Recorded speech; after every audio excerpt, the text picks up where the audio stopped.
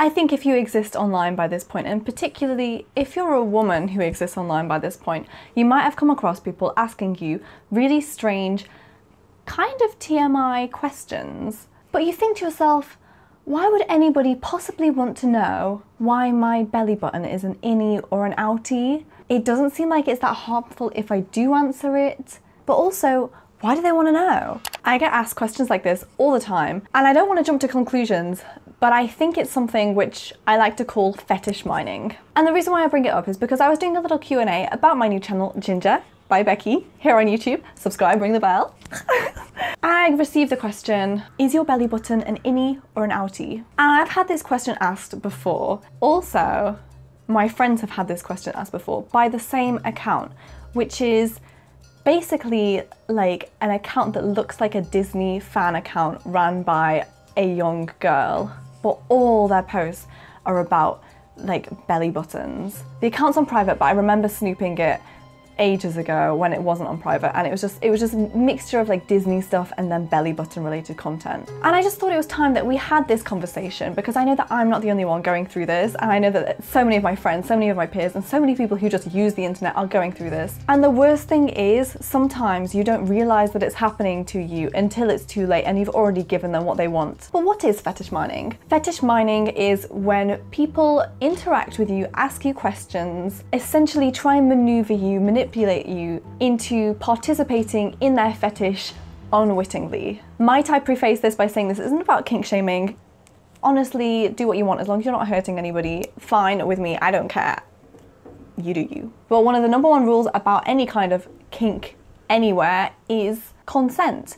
And this is completely against that because this is about trying to get people to participate without having informed consent. I'm going to explain to you a little bit more about the belly button question and why it's so concerning that it's coming from this specific account. And then I'm going to give you some more examples of other questions that I've been asked and other people that I know have been asked that are so clearly this is the intention and the intent. Asking me whether my belly button is an innie or an outie is concerning not because of the question, because to be honest, I don't actually really care if people know that about me or not, but with the intent behind this question, I do care because I don't want to participate in this person's like weird fantasy or whatever. First of all, how can you tell what somebody's intentions are when you're being asked these kinds of questions? Because obviously it's difficult, especially difficult on the internet to read nuance into anything because we all type with the same font, we can't read intonation. I always say go with your gut feeling and as somebody who gets a lot of these kinds of questions I kind of like have figured out how to weed them out just based on my intuition because I feel like I'm quite a good judge of character. When I talked about this on Twitter somebody raised the point this is kind of like the questions that you might ask your friends at a sleepover. Do you know what I mean? And that's kind of what makes it all the more insidious. Another user raised this exact point and said what if it was a little kid asking this? If it's a fetish thing that's no good but little kids ask weird questions all the time and that's completely true. Again, that's what makes it worse. For starters, my friend Connie said this, she joined in on the thread. She said, a lot of the people who ask these questions will ask you in like a childish or a childlike tone to make it seem like it is a little kid who's asking this and to kind of throw you off your guard. Similarly, these accounts will also pose as children or young people or as girls, somebody unthreatening, unassuming. This particular belly button Disney account is posing like thousands of other like Disney girl accounts that I've ever seen, but they only seem to ask about belly buttons and nothing else. And you would think that maybe a child would ask the question once and that would be it. But when I've had this question from this one account multiple times, my friends have had it multiple times, their whole account focuses on this one thing. I bet if I saw the messages they were sending to other people, they all revolve around this one thing. That's a little bit more than a kid's random question. That's something targeted with a specific purpose. And the other reason why this is so bad is because, not to toot my own horn, but I've grown up with a fairly considerable social media following. I am used to having a lot of people following me, a lot of people engaging with me, asking me questions left, right, and centre. And that's fine because I already am comfortable with the resolve that I don't have to answer every single question. If one's a bit weird or makes me uncomfortable, I can just ignore it. But when these people target regular citizens of the internet who maybe have got 40 followers and they're all from their school or something, and then they get one like random anonymous question asking them about their belly button.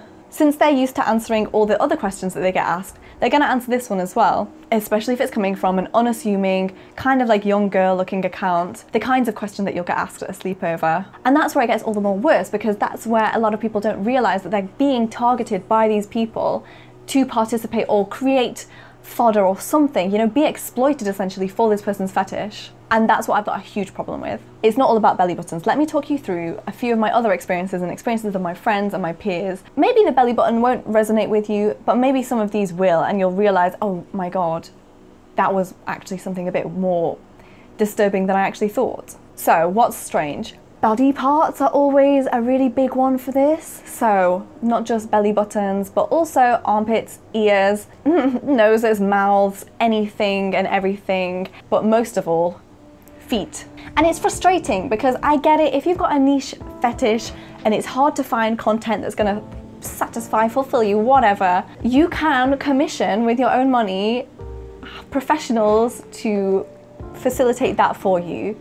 But it is in no way acceptable to bring this to an unassuming person and exploit them for your personal gratification. And that's fine for all these niche ones, but one which is you know, this is quite a common fetish is feet. And so to get random members of the public to participate in that fetish when there is so much like foot content that exists, it really baffles me and that makes me think that maybe the whole idea of somebody not knowing that they're playing into it or being a part of it maybe that's part of what's getting them off in some way as well, which is even worse. But one of the feet messages that I got because I get a lot to the point where I am really hesitant to post any pictures which involve my feet, even if they're wearing socks, especially if they're bare. I just won't post it. I used to do dance covers which were barefoot and they'd get loads of views because obviously they get posted on some weird little forum where everyone's like, oh, pause it like this bit and there's like a great foot shot or something like that. And it's like, that's not what I'm doing. I was just dancing, you know? The intention wasn't to create this stuff and you've done this completely without my consent. But one of the feet people who was trying to get me to do this. And this particular message and set of messages, because they don't just message once, they message more than once. This particular one I got when I was quite young, probably about 14 or 15. And I was really close to doing it before my gut instinct was like, mm, maybe this isn't maybe this isn't it. So I used to always get these messages and it was basically like, hey Becky, um, I was wondering if you'd be interested in helping me with this charity campaign. What we want people to do is take a picture of like, imagine these are feet, of your bare feet facing the camera and on the bottom of your feet write Toms or something like that, or like Toes for Toms. And it was basically the shoe brand Toms trying to raise awareness for, I don't know, poverty, like something or other, like do something for charity. I'm not sure. And if you just post a picture with your feet saying like toes for Toms, like this, facing the camera, and use the hashtag toes for Toms, that'd be great. And I was like, oh, a bit for charity. Doesn't seem like it's very high effort. I guess I could do that, fine.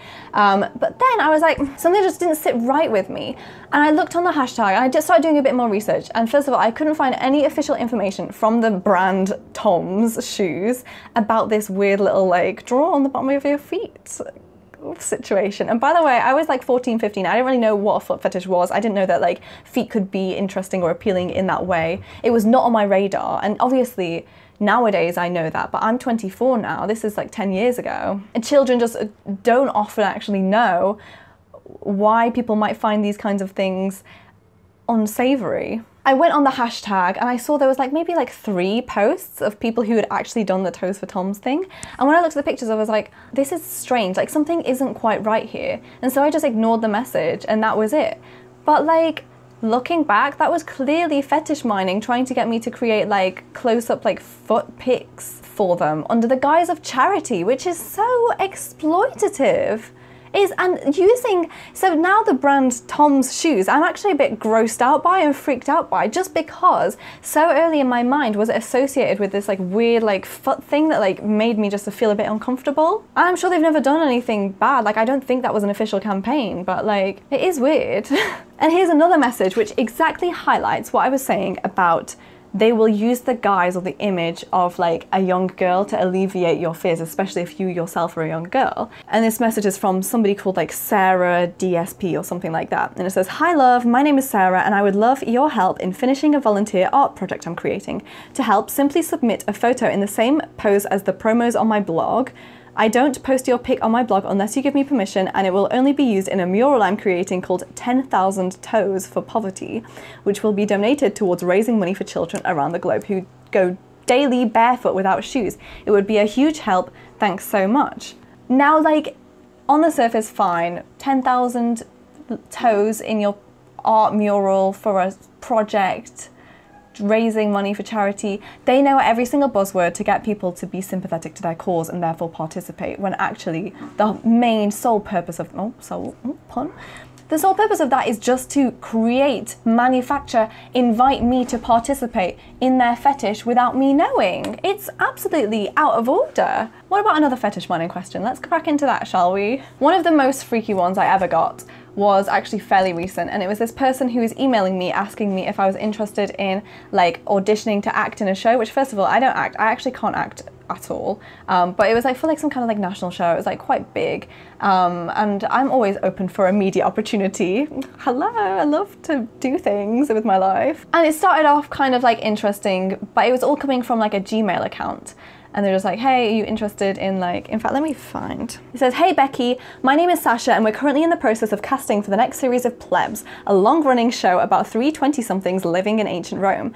I'm not sure if you're familiar with the show or not, let me know. If you're not, I'll go into details about it. Season five is coming out later this year, so in the process of casting for a future series that'll release next year, looking for a young, attractive woman to play a semi regular role in the series. She'll play the love interest of one of the main characters.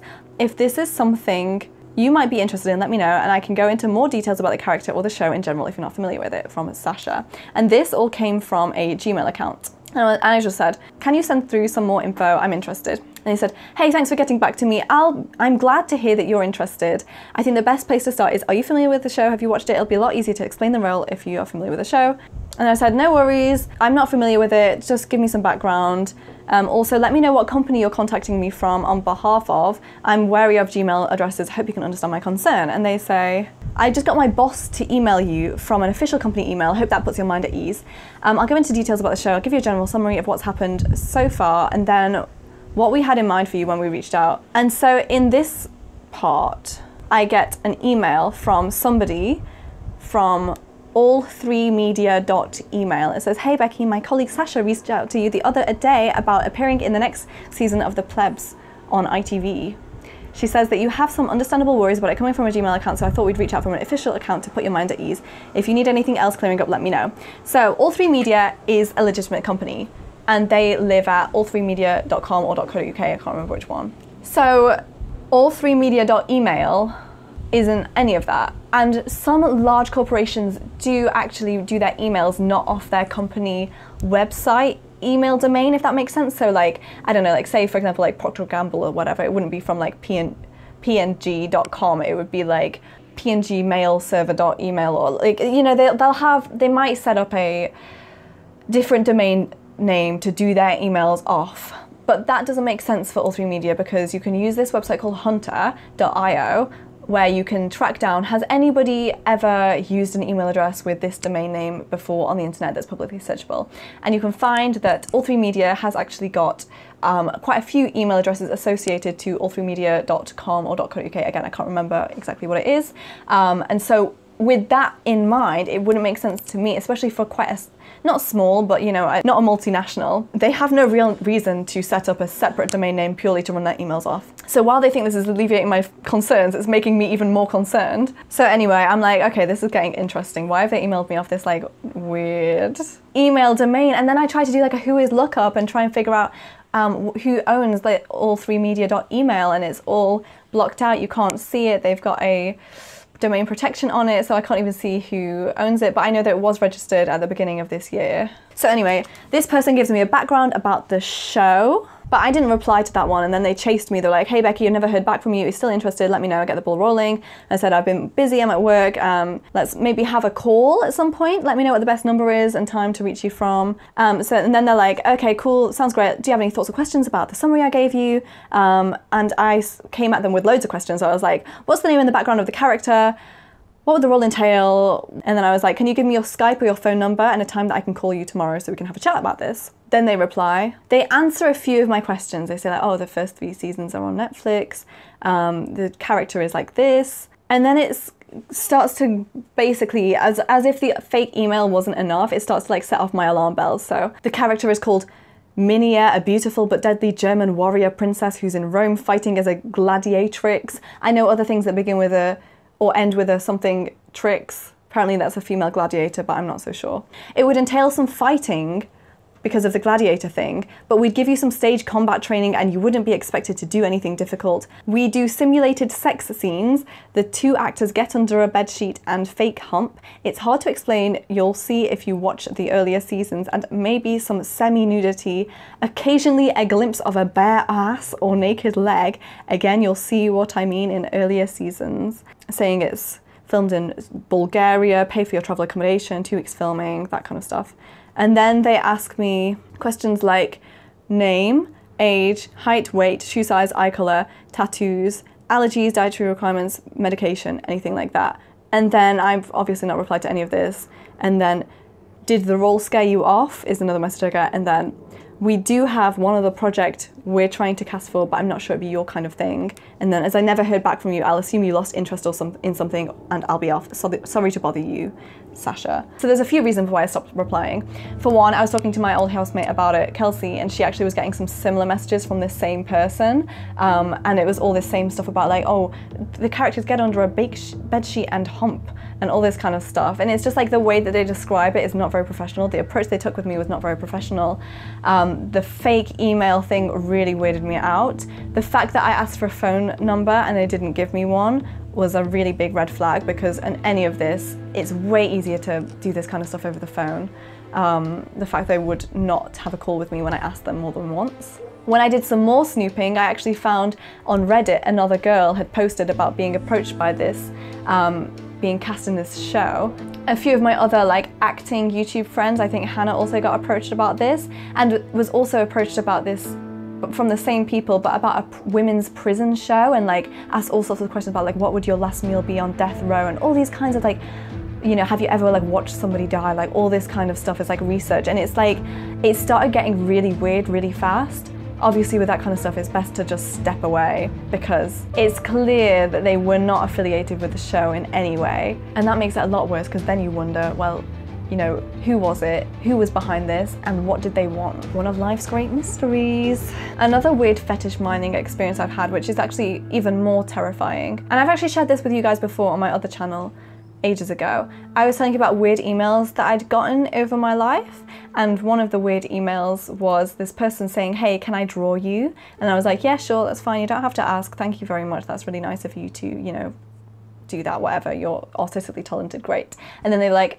you need to recreate this video for me and it was a video where basically the girl would um, it was like an artist reference photo or something and the girl would turn her head to the side and then to the center and then to the other side and then to the center and then tilt her head all the way back and show all of her neck and then tilt her head all the way forward and show all of the top of her hair and then turn all the way around and I thought that the video, like, just, the video just gave me a bit of the creeps because it was just a bit like quiet and slow and like strange. And I was like, I've been drawn by people before and they've never needed me to make this, and I'm not going to go out of my way and make this weird video for you. Like, I don't want you to draw me that much. So if you can't use any of the photos or something on my social media, then I actually am not that desperate for you to draw me. This is more for you than it is for me. I don't, I'm not really asking you for this. So um, I just left it at that. And then obviously they emailed again a few months later. They're like, hey, can I draw you? I was like, yes, again, you don't need to ask, just go ahead and do it if you want to do it. And then they sent me that same reference video again to copy, and I was like, hmm, no, I left it. Talked about it on my video, that was that. A friend got in touch with me and said, hey Becky, I saw that video. One thing really sprung to mind about that, and this is before that whole Shane Dawson thing, by the way. Um, they said, deep fakes. And I was like, I've heard that before. What does that mean? Deep fakes are essentially where you can use some software that I believe is open source, anybody can use it, it's free, it's available, that will use any source material. The really famous one is the Obama video where they produce a video of Obama basically warning the world about the threats of the internet and like, you know, cyber warfare. And then it was revealed that actually Obama never said that. It's not him in the video. It is in fact thousands and thousands of source material frames from all of his speeches put into this one neural network and then churning out a video to match audio which is fed in by a voice impersonator. And therefore there was this moving, speaking, talking, living, breathing Obama in a video saying these things that he had never actually said, but it looked uncannily real. And obviously, this kind of stuff can be used um, most proficiently actually for making like fake porn of people. I think that there's a lot of like famous celebrities, for example, like Selena Gomez. I think Shane Dawson talked about this in one of his conspiracy documentaries. He talks about it a lot more in depth, which I really recommend you go and see just exactly how powerful this software is and how deep faking um, is such a wide phenomenon on like the kind of lower layers of the internet. And it does make you think that a reference video, which turns your head one side to the center, to the other side to the center, all the way back to the center, all the way down, and turn all the way around, wouldn't that be perfect to just put into, that would be the ultimate source material to put into like a deep faking um, algorithm and then basically put my face on anything you want. I'm not saying I'm big or important enough to, you know, warrant that, any of that kind of stuff, and I definitely never want to be, but I know there's a lot of weird people on the internet. And again, that's a form of fetish mining, isn't it? Now, if you're interested in this topic of like fetish mining, um, I would really recommend you watch the documentary by David Farrier called Tickled. It is, I think, is my favorite documentary of all time. It is absolutely fantastic. It's an hour and a half long. It's like a film length, feature length documentary. Um, it reminds me a little bit of like Catfish in that way as well, in terms of like yes, internet like conspiracies and stuff, and like going on like a journey and like finding out way more than you ever expected that you'd find out about certain things. Um, and he basically is looking into this online world of competitive tickling, which isn't a sport. That's not a real thing. All these videos are so well produced. They're all about like you know competitive tickling with like a timer and like a judge and like a stopwatch and all these like boys in like you know sports uniforms just like tickling each other until they can't stand it anymore. Tickling is obviously like a really big like fetish, I think, in like the fetish community. And so it was kind of like, this is so strange that this these videos are being produced, but like it's trying to distance itself really far from actually being on the nose a fetish thing. And so this journalist like tries to figure out more about it and then he instantly gets like shut down and he's like, how dare you ask us if this is, you know, you've got like such uh, salacious intentions by asking us this. We are in no way affiliated with anything like untowards and you better like question yourself and it, it just goes from there and it's like all this big conspiracy about like power, media, who's behind this, blackmail, is terrifying. And so it doesn't talk about fetish mining in a meta sense, but it is a huge big example of somebody getting fetish mined. Now, this video is kind of long, but I hope it was really interesting for you. And obviously I'm going to make more videos about magazines and all sorts of other things,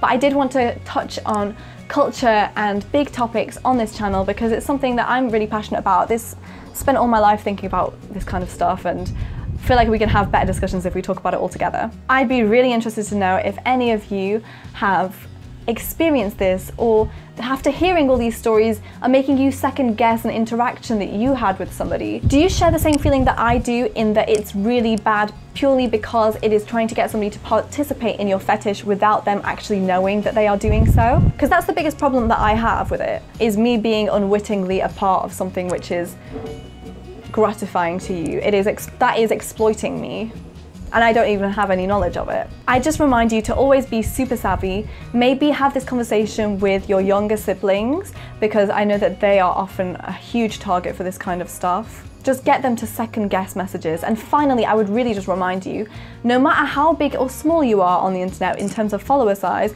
you don't owe anybody a response. It is completely fine to ignore people, mute people, block people, not interact with them you can reply to your friends and that's fine. And you probably would expect to, you know, owe them a response. But complete strangers asking you weird questions, you don't even have to say no thank you because even that might get them off. not that you can think in that way, obviously, about what's gonna sort people out or not, but you know, any kind of interaction with these kinds of people at all are totally not obligated by you and you don't owe them a thing and never feel guilty or bad about leaving them hanging if you hate seeing that message that's not been responded to in your inbox, delete the thread, you know, screenshot maybe if you need to, but delete the thread and just don't think about it. You don't owe them a response. You shouldn't respond. And I hope that if ever you have been the person who is trying to fetish mine and you know that your intentions are not so pure, please reconsider what you're doing.